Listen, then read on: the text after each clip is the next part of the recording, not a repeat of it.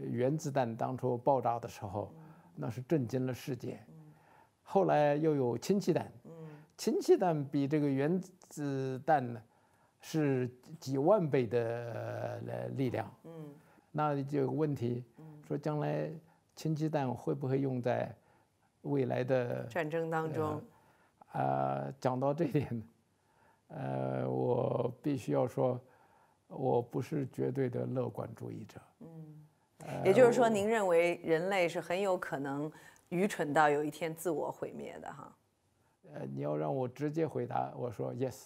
多种情绪掺杂在一起。使得杨振宁非常希望能为祖国的建设尽份力。上世纪七十年代，国家有关部门请他对当时非常受重视的高能加速器的项目发表意见。杨振宁没有人云亦云的敷衍，认真思考后，他直言不讳，提出反对。那个时候，中国政府打算要造一个一亿美元的加速器，呃，那个是七十年代。你不知道中国穷的这个这这程度，那么穷的一个情形之下，要花一亿美金盖一个这东西，一时也不会对于任何人有国计民生有什么好处，所以我觉得我必须要反对。很多的同行，呃，都跟我说中国已经做要做了，你不要反对。呃，我说这个不行，这个我得凭良心讲话，所以我一直是坚持这件事情。而我这反对有没有用处呢？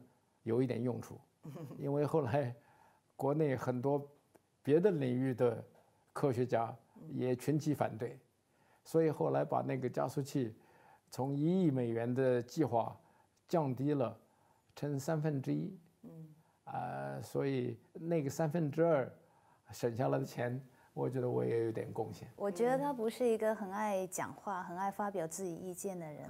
但是对于他的专业，就是他是非常直率的，嗯，就他很少把自己的私利放在里头。呃，我最欣赏翁帆的地方，翁帆最欣赏我的地方，我想是同样的，就是我们都是真的人，嗯，是我们不做假的。尊重内心的想法，回归真实的自我，是杨振宁看重的。尽管他从1945年到2003年。在美国生活了五十八年，作为全美华人协会会长的他，也为促进中美关系做出了重要的贡献。然而，对于故土的眷恋以及老骥伏枥的心愿，还是吸引了他在八十一岁那年选择叶落归根，回到他儿时生活过的地方清华园，并且工作至今。杨先生给我们最大印象就是他记忆力特别好，他就非常喜欢讲故事。几十年的时间里面，啊，各种各样的故事。你在跟他日常的接触，你不会觉得他是一个，是一个物理学上面的一个巨人，他给你的印象是一个很亲切的这么一个人。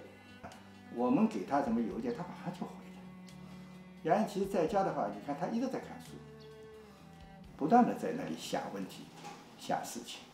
在杨振宁的自传《曙光集》的前言里，他这样写道：“幸运的。”中华民族终于走完了这个长夜，看见了曙光。我看不到天大亮了，翁帆答应替我看到。究竟在杨振宁的心中，这是一份怎样的憧憬？我憧憬，我希望，呃，这个过十年、二十年、三十年以后，呃，中国的。呃，人均收入达到了呃发达了的国家的水准，这是第一。第二，这个中国的文化传统，呃，是恢复了呃这个几千年文化里头的优点，而又吸收了啊近代西方文化里头的呃优点，变成一个总和性的新的一个。影响世界的文化，呃，我想这个是可能的。从一个立场讲起来，甚至于可以说是非常可能。可是当然不敢讲这一定是这样，这里头未知数还很多。啊，你知道，呃，原子弹当初爆炸的时候，那是震惊了世界。后来又有氢气弹。氢气弹比这个原子弹呢是几万倍的呃力量。嗯，那就有个问题，说将来氢气弹会不会用在未来的战争当中？